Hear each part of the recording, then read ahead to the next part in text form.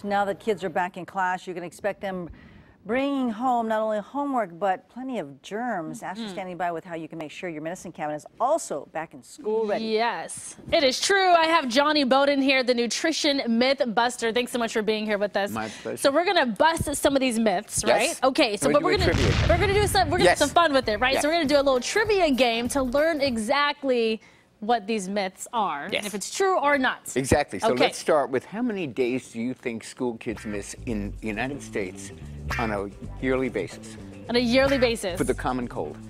How many missed days of school? 13. 13? 13. 22 million.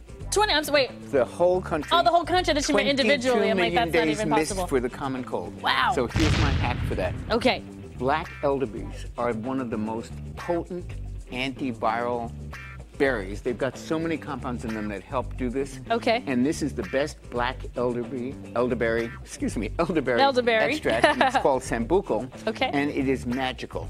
This has been shown to actually decrease the number of days that you're out. Wow. It may not prevent the common cold. Nothing prevents the common cold, although Okay. we take it in our house as a kind of preventive just in general because it's so powerful antioxidant, but it does cut the number of days that you're out. So I make this a part of every kid's daily Okay. use. All in I'm ready for my next question. Next I'm trying question. to ace this. Okay, Because I didn't do so well on this. Okay. What what happens when your kids have digestive upsets, gas, bloating, and missed days because of that? What do you do?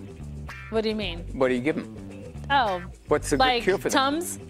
No. What do you give a kid? I don't know. I don't know. You know. got to give them more fiber in their diet. Oh, That's the okay. bottom line of that because all of that stuff is related to digestive upset, gas, bloating, all the things Got that they complain about. They don't want to go to the bathroom in school. All of that can be really helped by fiber. Got and it. I recommend fiber supplements. And if you think, how are you going to get your kids to eat anything with fiber? Yeah. Like this regular girl, which is my favorite one, and Sunfiber, they're really the same one as branded Okay. women. But Okay. taste this. You're making And me eat something I'm going to make you taste Okay. the most delicious. Tell me that your kid or any kid would not eat this. Mm-hmm. Not good. It's not bad, right? Mm-hmm. It's like chocolate pudding. This is made with garbanzo beans and fiber. Oh.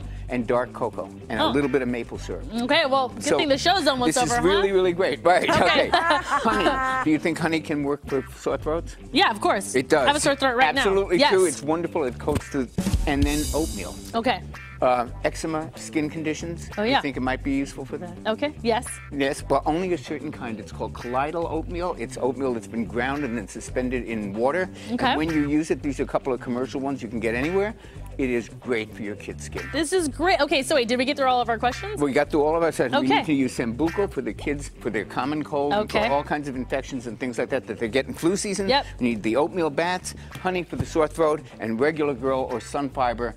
Every single day, you can put it in drinks, you can put it in coffee, and it's odorless and tasteless. And Awesome. Jonny, see, Jonny, my man, thank you pudding. so much. Okay, here's the thing. I got two of the four right, 50%. I failed. That's cool. awesome. All right, guys, stay with us. Don't leave home till 11.